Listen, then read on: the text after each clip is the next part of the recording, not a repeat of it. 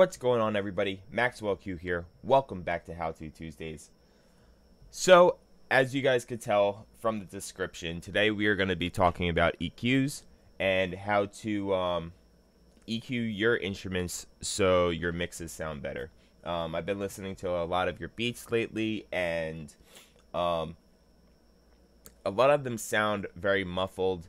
They they, they aren't hitting as hard, and um, they you can just tell that nothing is EQ'd or EQ'd uh, to a certain extent where um, all the low end is still bleeding through into their 808s and kicks and that's why your you know your uh, your beats aren't hitting as hard as you'd like them to.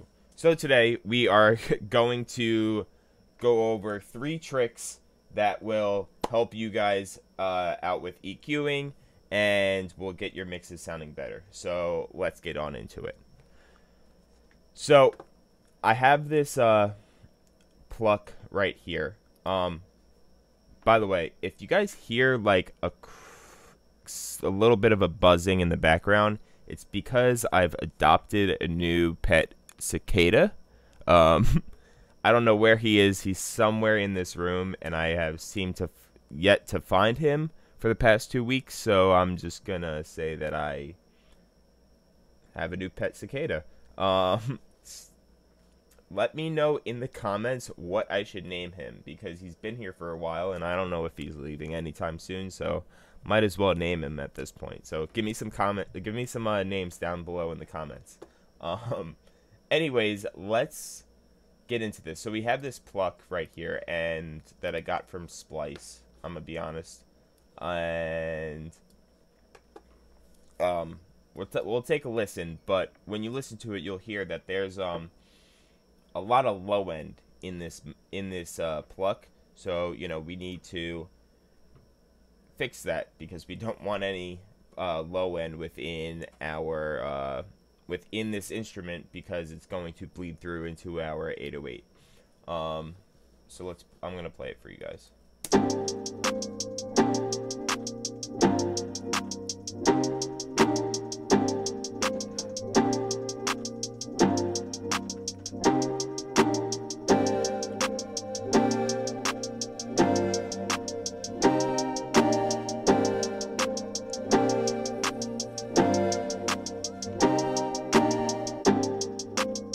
Alright, so as you guys could tell, there's a lot, a lot, a lot of low end in here. So we're just going to make this a little bit bigger so you guys can see. But um, there's a lot of low end happening. So first thing that I'm going to teach you guys is the high pass filter trick. Um, and this is what's going to help um, get rid of all that low end for you guys. So I'm going to show you guys how I do that real quick. Um, so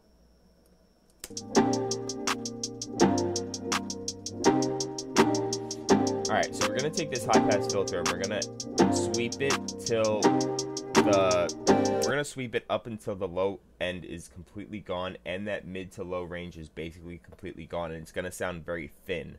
But then what I'm to do is what's to help your mixes a lot better. Alright, cool. So we're just to keep going past that mid-low.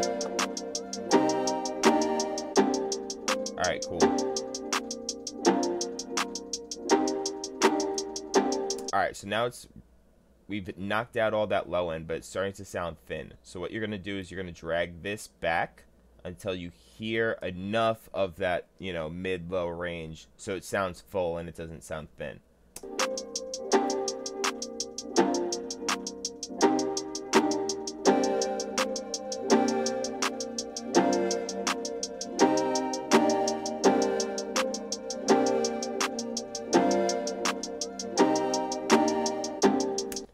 Now, you can also do this with high end as well. Um, so you're just going to do the same exact trick. So this has a little bit too much of high end on it, so I just want to get rid of it a slight bit. So you're just going to do the same exact thing. I like to start around uh, 2.6 kilohertz and then just pull back until it sounds good enough to my ears. Because right now it sounds very muted but as we open it up,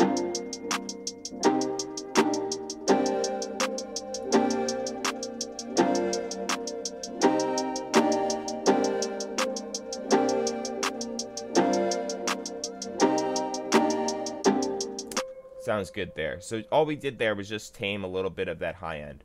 Um, but that's the first trick. Um, the second is going to be what we're going to do now, which is called low shelving. Um, and when we op open up this EQ on tab, we get this um, button right here. And what this is is the low and low shelf. Uh, this red one up here is the high shelf, but we don't need that. Um, the only time I would ever really use this is if you want to brighten up some of those highs. But in this case, for the for this, we're not going to worry about that at all. Um, the reason why I use this in some cases is for when the low end is bleeding through a lot, or there's a lot of low end, and you know that mid, uh, that mid low frequency right here just isn't coming through enough. So first thing I'm gonna do is I'm gonna drag before I even play it. I'm going to drag this button to the bottom left corner. And then from there, I'm just going to slightly adjust moving this in and this out till we find a nice balance.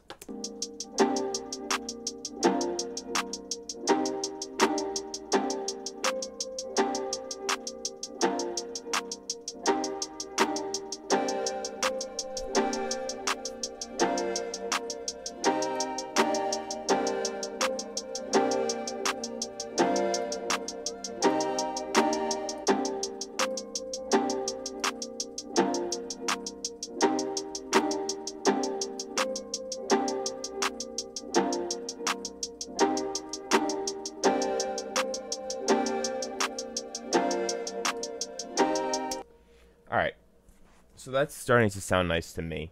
Um, you know, it took out it took out a lot of that low end that we that was still bleeding through, and we just finely tuned adjusted this um, high pass filter just so it wasn't sounding too thin. Um, because when you do lower the high shelf or the low shelf, it does lower this curve right here. Um, which if we were kept ducking more and more, we would lose all that mid-low range. So um, you know, you had to bring it back just so it didn't sound thin. Um, so lastly, I'm going to show you the last trick. Um, and this one is a little bit more in tune or a little bit more in depth, but um, it's really going to change your mixes a lot. Um, so what we're going to do is we're going to open a M class equalizer, and I'm going to make two of them just because this instrument has a lot of um, peaks in it. But what we're going to do now is we're going to sweep for uh, harsh frequencies. Um, what I always do automatically is I do that low cut button right there just because what that does is it's going to cut anything lower than 30 hertz and you don't need anything below 30 hertz at all in any of your instruments because it's not very you can't hear it it's you can't notice it to the human ear but you could feel it and that feeling you know, with everything being so muddy, it's when it's just going to build up and stack on top of each other, which makes, you know, all your low end sound super muddy. So, you know, just turning that low cut button on will, you know, help uh, get rid of that low end that's unnecessary in the instrument. Um, next, we're going to, on both, we are also going to drop the uh, frequency all the way to 30 hertz and then drop the uh, the gain and the Q as well. Um, my saying when it comes to EQing is better to be safe than sorry. Um, sometimes you're it, even though you're EQing, it's still going to bleed through, so you might as well knock out as much of that low end as you possibly can. But here comes to the tr- uh, the trick that's going to save your all your lives is peak adjustment. So we're just gonna we're gonna leave the frequency at the same. We're going to bring the uh, gain on the parameter 1 all the way to the all the way to full and then we're just going to adjust this Q a slight bit so it's a little bit smaller. And now we're going to play the pluck and we are going to sweep through all the frequencies and hear and um, see if we hear anything that's too harsh to the human ear.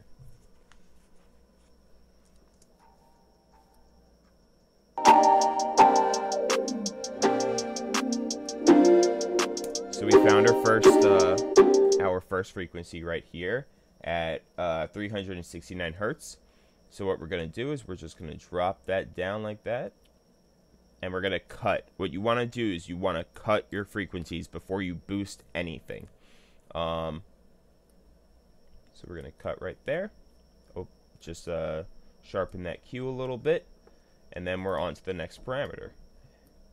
So we're going to start around around 700. That's probably about the next frequency, and we're just going to make this a little smaller, and we're going to sweep again.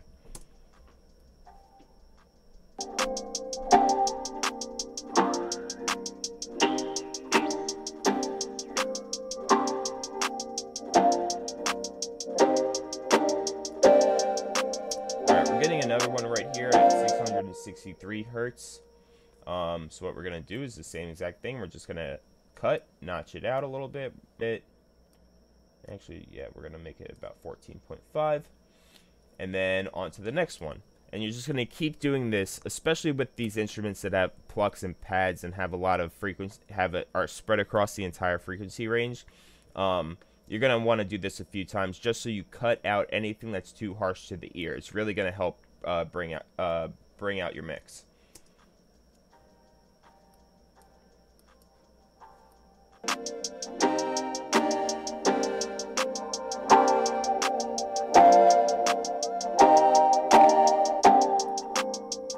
Alright, found another one around 880. And you're probably sitting there wondering, well, you know, you're cutting out so many frequencies around the same area. Why don't you just make a big dip? You can do that. Um, I just think especially for this instrument itself. It might not, it you know, you could do a big dip around between 800 to 400 per se, and then just cut all that out. But I don't want to cut all, you know, that everything, all that's good about this pluck. And I just want to notch out a few frequencies and just duck them a little bit so they're not as harsh. I don't want to duck the entire thing.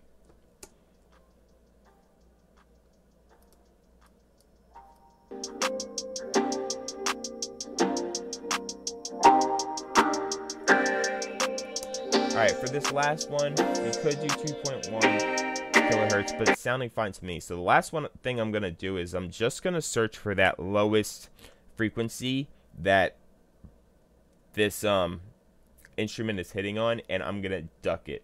Just so we make sure we get rid of all that low end that we is unneeded.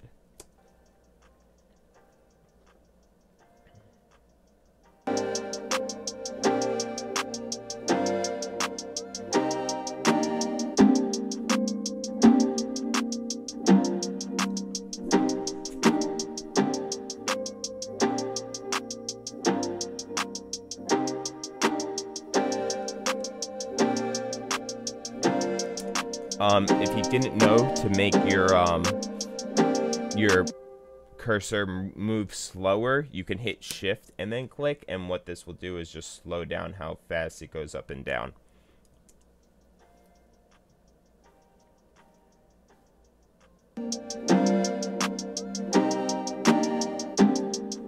So I'm seeing it's about 180. Let's see where this is at.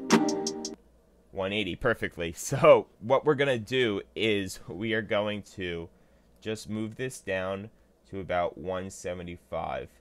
And then we are going to duck at that point. And then we're just going to move the frequency of this up to about 72. Duck that down. We're going to open this up a little bit. And perfect.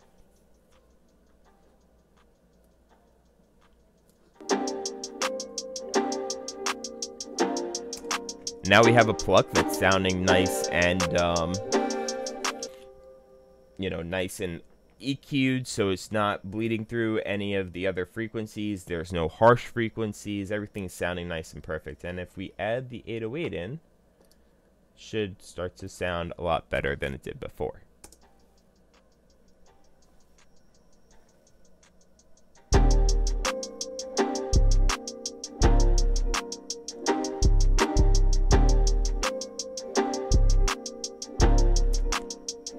See, now the 808 has room to breathe. It's not sounding super muddy. There's not all these other frequencies clashing with the 808 frequencies. And that's what the three tricks that's going to help you guys get your mixes 10 times better. I hope you guys enjoyed this uh, video. Uh, if you're new to the channel or you have not subscribed yet, please hit that subscribe button and the bell notifications to know every single time I upload a brand new video. Um, and if you could, please give this video a thumbs up. You don't know how much that does for me, but it also does a lot for you guys because the more we grow this channel, the more I'm going to be able to bring you. So that's it for today on How To Tuesdays. I'll catch you guys next time. Peace.